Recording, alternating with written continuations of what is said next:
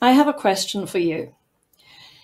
Would you go to Europe and say single out a Polish person or a German person or an Italian person and then tell them, look, I'm from America.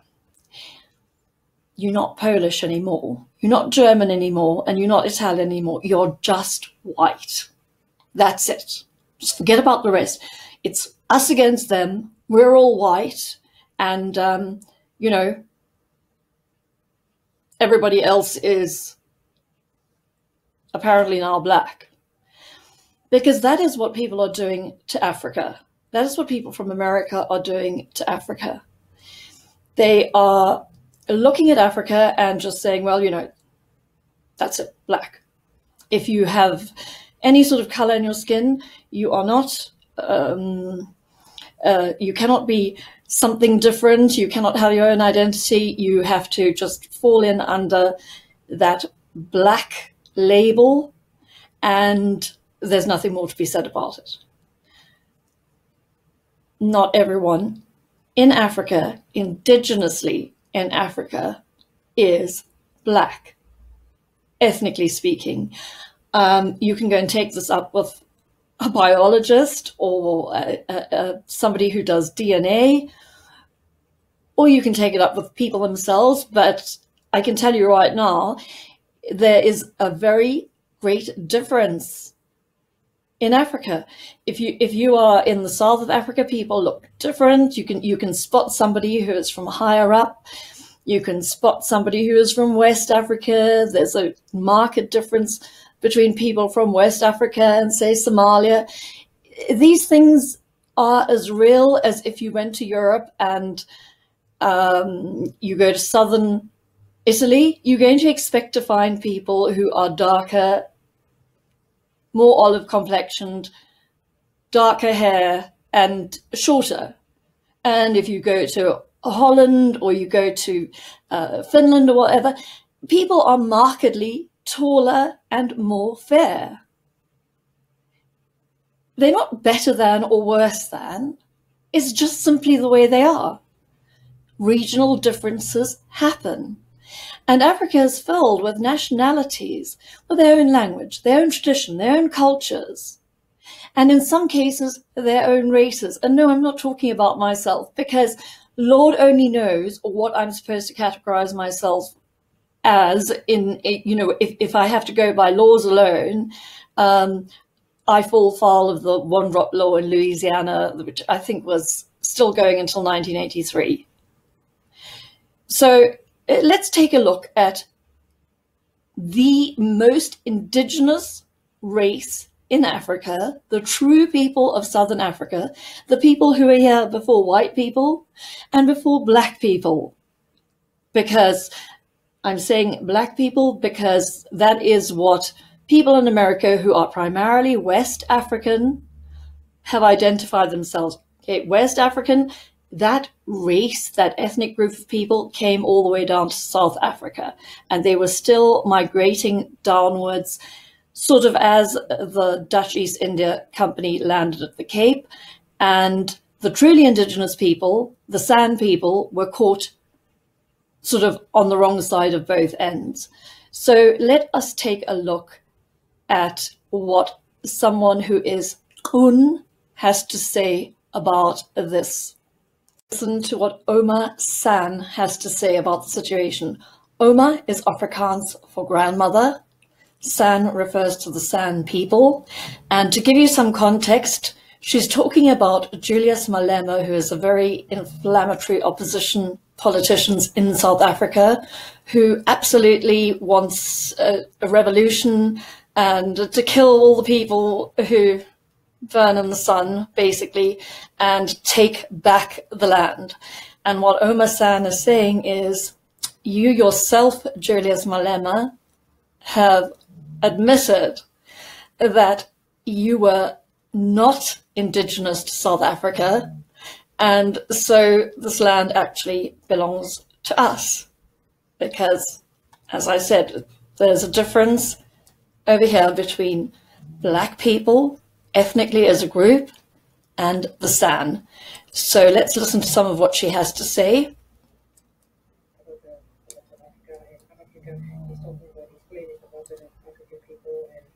So I want to find out if Julius Malema knows these people.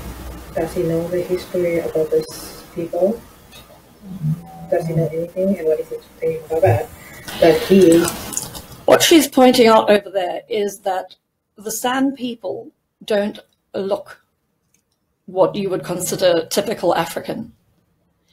They have very distinctive features. They're very beautiful people.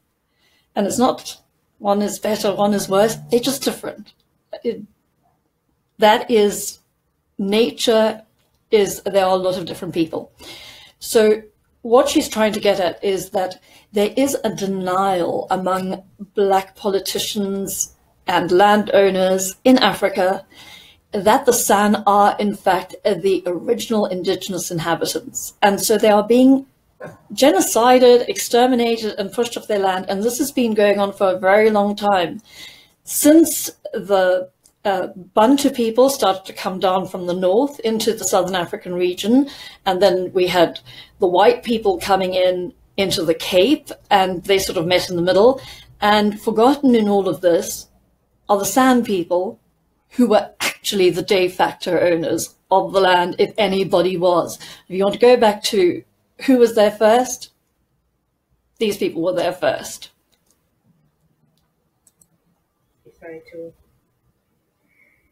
Decide to throw the natives of a little baby. South Africa, South Africa, and and he decides that only it's about the black people. So yeah, it's only about the black people, not the Gun people, not the San people. So uh, let's start with this. We call people uh, Malawians. You know, he's we call people Zimbabweans. We call people Malawians.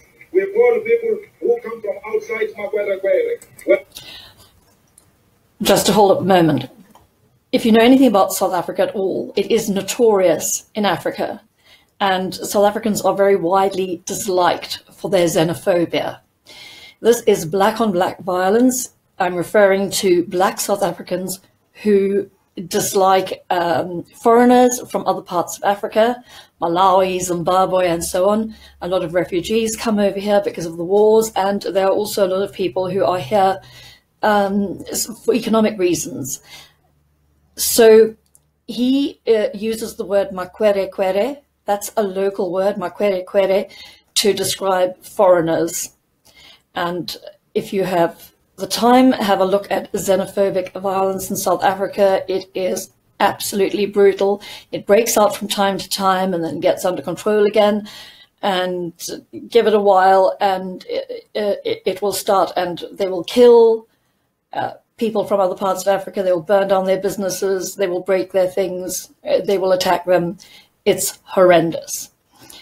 Okay, so Malema is saying we are also Makwere Kwere in South Africa, all of us black people, because he's definitely not speaking for people like me by his own uh, policy, um, we are all Makwere Kwere because we all came from the north.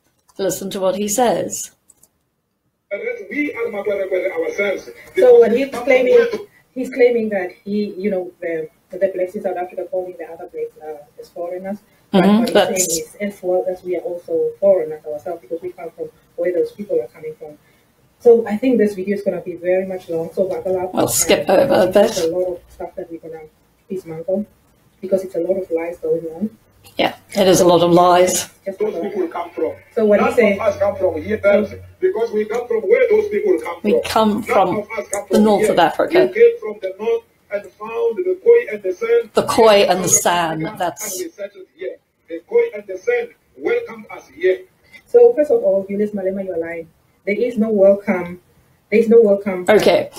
Uh, so subtitles are wrong. She said, Julius Malema, you are lying. There is no welcome. And that's because uh, there was no real welcome. The San people were actually trading in the Cape um, and the, the Cape was not simply invaded by the Dutch, for those who don't know. The Dutch East India Company came over here to set up a canteen, basically to get refreshments for the long journey before the Suez Canal existed, the long journey to uh, India and the spice countries. which they took back to Europe and profited from. They weren't really interested in the land or anything else. And the Cape was originally uh, as multicultural and multi-ethnic as you can find with people from all over the place, all around the world. And in fact, the native indigenous people to this area were trading and doing business and bartering at that time. And it's regrettable that they, as I say, they had to fend off the white people, broadly speaking, and then they were also brutalized by black people. And that is a policy which continues to this day. Then a Khoi and the San gave you. There's actually not Khoi and the San, there's only the San. Okay, she's saying it's not correct to say Khoi and San, it's just the San people. I make because it's in the, only in South Africa they refer to Khoi and the San. There is no Khoi and the San, and I emphasize, emphasize okay. there is no Khoi and the San. Only people, Khoi, not people oh, uh, entire, you know, southern part of Africa. They called us southern part of Africa, but we are actually not the, we are not of southern part of Africa. We are the indigenous people of the entire Africa. Yes, but pay attention to this bit. You know, kill and all those type of things. Mm-hmm. I have made, why I say we are the indigenous people of the entire Africa is that yeah. I have made uh, a video about that. Maybe if you can found this video of mine, you can go back and I have made an entire video about that. But I was talking about uh, the San people, the natives of entire Africa, genocide and exterminated by blacks. So in the south of Africa is where the whites have found us, and that's why most like. Okay, so I'm guessing that uh, if you're inclined to BLM way of thinking, then as far as you're concerned, she's black and she should just, you know, throw away all of her heritage and so on and put up and shut up. That means you don't understand history in Africa. You don't understand how many ethnic conflicts there are. You don't understand how many different languages there are. I just want to clarify, San is the same as Bushman. Bushman is now seen as a pejorative. Ouma San is saying she's back to using um, Bushman. And as far as I understand, it wasn't actually a pejorative term by the Dutch. They had a very difficult time understanding uh, the San people. This is the language of clicks, clicks, clicks, clicks. You don't find this north of Africa, in northern Africa anymore. I suppose they used to be over there, but now they're all gone. But in Bantu speaking tribes, they don't really have clicks. You have clicks among the Xhosa, and those are because they mixed uh, with the San people to a large degree. So if you look at, at Nelson Mandela, you'll see he has distinctly San features, and to a lesser degree among the Zulu people. But if you go north, that's pretty much it. And there are people who speak entirely with clicks, but they're completely Bantu. I think the Damara people in Namibia fit this category. It's incredibly complicated. It's not just one continent, one country, one people. There are lots of different people. So I just want you to take a look at a little bit of what she says over here to give you an idea of how serious uh, these issues really are.